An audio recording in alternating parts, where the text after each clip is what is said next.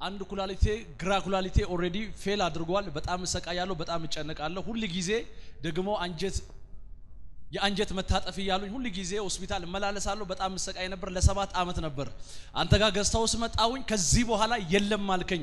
ሄጄ ስመረመር የጠፋው ኩላሊት ተገኘ። ጠራልኝ።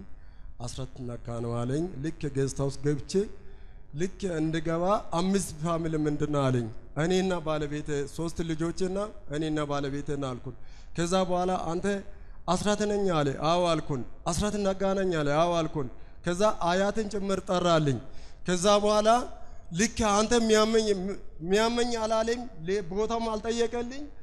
ሹራቢን ወደ ላይ ከፍ አድርጋ አለኝ። ከዛ በኋላ ከፍ ሲያደርገው እዚህ ጋር ዘይት የረጫልኝ። ከዛ ቀን ጀምሮ እዚህ ጋር ከሰባት ዓመት በፊት ጀምሮ ተኝቼ አላቅም። እንቅልፍ የሚባል ነገር የለም። በጣም ነው የሚረጠበኝ። እይዛለሁ በቃ አንዴ አንዴ የሄደ ይመስለኛና እንቅ ይይዛለሁ። ዝም ብዬ ዘይትን ዋን እዚህ ጋር ጨምራለሁ። እምብርቴ ላይ በጣም ነው የሚያመኝ። ከዛ ማንም አያውቅኝ። በዛ ሰዓት እንግዲህ ሐኪም ቤት ያልሄድኩም ሰፈሪ ሐኪም ቤት እጄው ላይ ያልተወጋ ቦታ የለም። እዚህ ጋር ታበኝ መሄድ ያቅ- እስከሚያቅት ድረስ ያልተወጋ ቦታ የለም።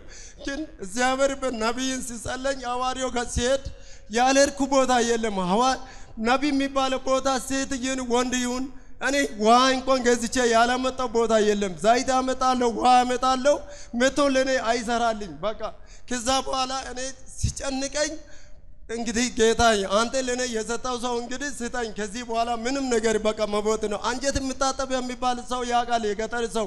እኔ ያልተሻ ያላዘ ሰው የለም፣ እኔ ወንድ ሴት ቢሆንም። ከዛ በጣም እየተጣመቁ ነበረ። እምብረቴ ላይ ዝም ብዬ እዚህ እምብረቴ ላይ እንቃርገ ይዤ ውሃ ጨምራለሁ። እንግዲህ ታውቃላችሁ እዚህ ጋር ቀዳዳ የለም። ለእኔ ውስጥን ቁስሌ እንዲደርስ ብዬ ነው። ከዛ እሱ ጋር ሄድኩበት ምንም ሳነኝ ከነ አያቴን ከነ አባቴን ከነ እኔን ፋሚሊ ሙሉ ጠራልኝ። እዚህ ጋር ቅርብ ማክሰኞ ዕለት ነው አምስት ዕለት ነው ሄድኩን፣ ጸለልኝ። እንቅልፍ የሚባለው ነገር እስከሚነጋ ድረስ ተኝቼ ነው። ለስንት ዓመት እንቅልፍ ተኝታ ታቅም? ሰባት ዓመት ከዛ በፊት ነው።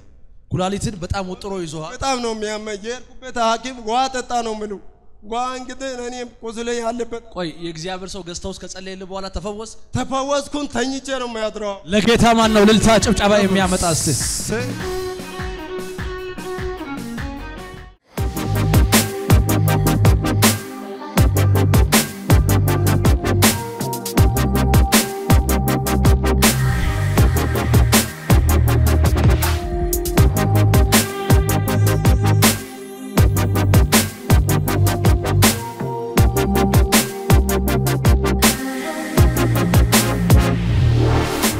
እቺ እናታችን እንደዚህ እያለች ነው። እኔ ቀኝ እግሬ፣ ግራ እግሬ፣ ጀርባዬን ሁሉ ያመኝ ነበረ። መንቀሳቀስ አልችልም፣ ይቸገራለሁ። አንድ ቀን ባለቤቴ ማንንም ነቢ አይወድም ነበረ። የትኛውም ነቢ አይወድም፣ እነዚህ ዝም ብሎ ነው የሚሆኑት ያለ ይቀልዳል። ነገር ግን አንድ ቀን ቲቪ ላይ ሐዋርያውን አየና ይሄ ሰውዬ ጥሩ ሳይሆን አይቀርም፣ እሱ ጋር ሂጂ እስኪ አላት። ከዛ በኋላ እሺ ብላ እሷ መጣች። ስትመጣ እንደሚባለው እሱም ብዙ አላካበደም፣ ተፈውሰሻል አላት። ከዛ በኋላ ውሃ ላይ ተፈውሰሻል አለ። ይሄ ብዙ እውነትም ምንም የለም እንደ ምንም ሳይጸልይን በአንድ ቃል ተፈውሰሻል ይላል እንደ ብዙ ነገር ይላል ብዬ ይጠብቅ ነበረ። ውሃን ሰጥ- ሰጥቼው ተፈውሰሻል አለኝ። እንዳለው እዛው ግቢ እያለው ተፈወስኩኝ። ቤት ስመጣ እግሬም ይሰራል፣ ጀርባዬም አያመኝም፣ ነፃ ወጣው።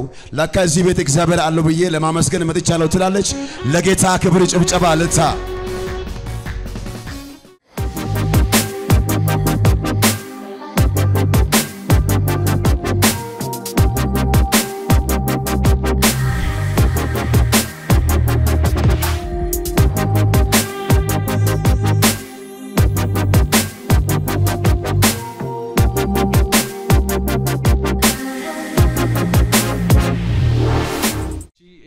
ትላለች። የኔ አባት ከባድ የሆነ የኪንታሮት በሽታ ታማሚ ነበር። በጣም እሰቃያለሁ፣ በጣም እጨነቃለሁ። እዚህ church መጣሁኝ። እዚህ በሐዋርያው እስራኤል ዳንሳ የሚሰራው መንፈስ እቤቱ ላይ አለ ብዬ አመንኩኝ። ውሃ አምጥቼ አፈር ውሃው ላይ ጨመርኩና በዚህ ሰዓት እኔ አምናለሁ። እኔ ውሃውን ስጠጣ አባቴ ከኪንታሮት ይፈወሳል አልኩኝ። በሚያስገርም ሁኔታ እኔ እዚህ ውሃውን ስጠጣ ከአባቴ ላይ ኪንታሮቱ ጠፋ። ማን ነው ልልታ ጭብጨባ ለጌታ የሚያመጣ እስቲ? አባ ይሄ ወንድማችን እንደዚህ እያለ ነው። ለአንድ አመት ሙሉ እዚህ ጋር የሚታይ እብጠት ነበረ። የሚታይ ትልቅ እብጠት አለ እና ሐዋርያ ጋር ገዝታ ውስጥ ገባው። ገዝታ ውስጥ ስገባ ምንድን ነው ይሄ ስል በጣም አሞኛል አልኩት። ከዛ በኋላ ስንት ዓመት ነው ስል አንድ ዓመት አልኩት። ከዛ ተፈውሳል፣ አዋጅ ተገልቦታል፣ ከዚህ በኋላ ነፃ ነህ አልከኝ። አሜን ብዬ ሄድኩኝ። የሚታይ እብጠት ቀልጧል። አሁን ሰላም ሆኛለሁ እያለ ነው። ለጌታ ክብር ጭብጨባ ለታ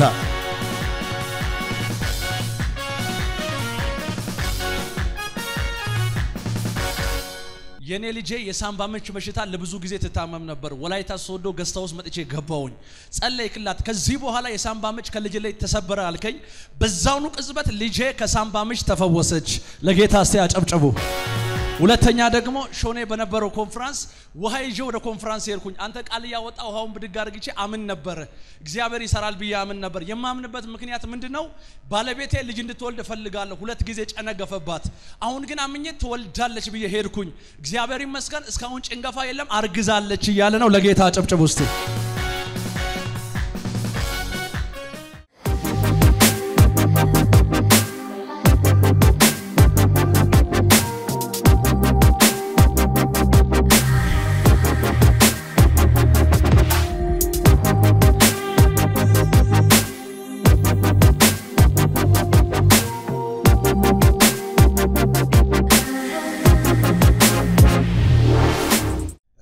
ጫኝና አውራጅ ነበረ።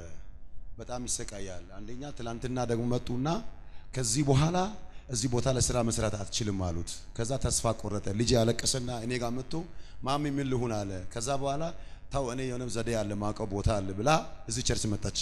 እዚህ church ስመጣ እየተጸለየ ነበር። የትኛውም አዋጅ ይፈርሳል አይጸናም እያልክ ነበር አባ። አሜን ብዬ ተቀብዬ ሄድኩኝ። ቤቴ ስመለስ ቅድም ስራ አትሰራም ያለው ያ ድርጅት አሁን ደግሞ መቀጠል ትችላለህ አለ። አዋጅ እንዳለው ተገልብጧል። አመስግኑልኝ ጌታ ያለች ነው። ለጌታ ክብር ልጄ ወደ ሳውዝ አፍሪካ ለመሄድ ማላዊ ላይ ተያዘ። እስር ቤት ገባ። እስር ቤት በገባዋ ጊዜ ወደ አንተ መጣሁኝ። አንተ እንደዚህ አልከኝ፣ ልጅ ይፈታል፣ ወደ ኋላ አይመለስም፣ ወደፊት ይሄዳል አልከኝ። ልጄ ተፈታ፣ ሳውዝ አፍሪካ ገባ እያለ ነው። ለጌታ ጨብጭብ ውስጥ እኔ ባለቤት ሁለት ጊዜ ተጨናግፈ፣ አንደኛ ተጨናግፈ፣ ሁለተኛ ኦፕራሽን የተደረገ ሞተባት፣ ሶስተኛ ጊዜ መጣው አንተ ጋር ገስታውስ ገስታውስ ገባው። አንተ ጸልይ፣ ከዚህ በኋላ በአንተ ቤት ጭንገፋ አይሆንም አልከው። አሜን ብሎ ተቀበለ። አሁን ሶስተኛ ጭንገፋ ሳይሆን ልትወልድ ቀርባ ነው ያለችው። በሰላም ተገላግላለች እያለ ነው። ለጌታ ክብር ጭብጨባ እልልታ። እቺ እናቴ እንደዚህ ያለ ባለቤቴ ከፎቅ ተወርውሮ ወርዶ ወድቆ ኩላሊቱን ተመታና በጣም ታመመ። በጣም በሽተኛ ሆነ፣ ተሰቃየ። church ም guest house ም አይወድም ነበረ። እኔ ነው የምወደው፣ ሐዋርያውንም በጣም ነው የምወደው። አንድ ቀን ላኩት እላይ አባት እዚህ ካለ እላይ ኮንፈረንስ ነበረ guest house ኡ ጋር ወደዛ ላኩት። እኔ አልሄድም፣ እዛ guest house ላይ ግፊያ አለ፣ አያደርሰኝም፣ አልሄድም አልኩት። ሂድ፣ ችግር የለም እግዚአብሔር ይደርስልሃል አልኩት። እንደምንም ብሎ guest house ሄደ። እንደሚባለውም ሲሄድ ግፊያ ነበረ። ጠጋ አልኩና ሐዋርያውን እንዲጸልይ አልኩት። ውሃ ላይ ጸለይ፣ ተፈውሳል አለኝ። አመን ብሎ መጣ። አሁን ባለቤቴ ነፃ ወጥቷል። ሁለቱ ኩላሊቱም ነፃ ነው እያለች ነው። ለጌታ ክብር ጭብጨባ ልታ